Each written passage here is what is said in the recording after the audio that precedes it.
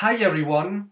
In this short R tutorial I explain how you can merge two data frames together with an outer join, inner join, left and right join. For that I just created here two simple data frames and when we look at the first data set we see we have here the first six IDs. And when we look at the second data set, we have here from ID 4 until ID 9. If we want to make an outer join, which means we want to merge these two data frames, then we can use the merge function.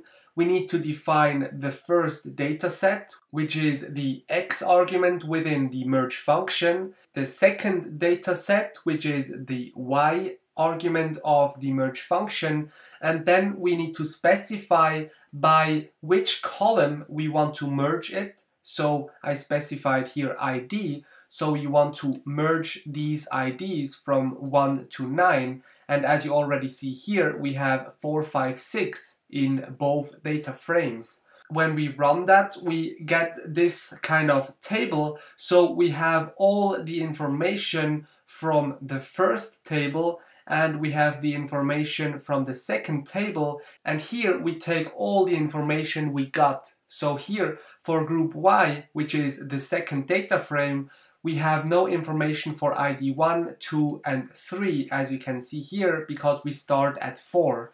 And for group X, which is the first data frame, we don't have information on 7, 8 and 9 and as you can see here the first data frame ends with the ID 6. When we want to make an inner join, which means we only want to get the part which is within both data frames, we can run the same merge function with the dataset 1, dataset 2. Also, we merge it by the ID.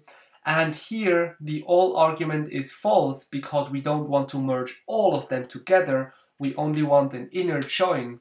And this means now we only have 4, 5 and 6 within this new data frame here because we only want to get the information on the IDs which are in both data frames. And then we also have the left and the right join. And for that we use the same function. We need to define all x equals true, which means that we want to get all the data from the first table plus the additional data from table 2. And when we run that and look at the data, we have all the data from the first group and also only half of the data from the second group. And when we make a right join, we just need to define all dot y equals true. So we do exactly the opposite. So now we use all the data from the second table and we add the data of table 1. I hope with this short explanation I helped.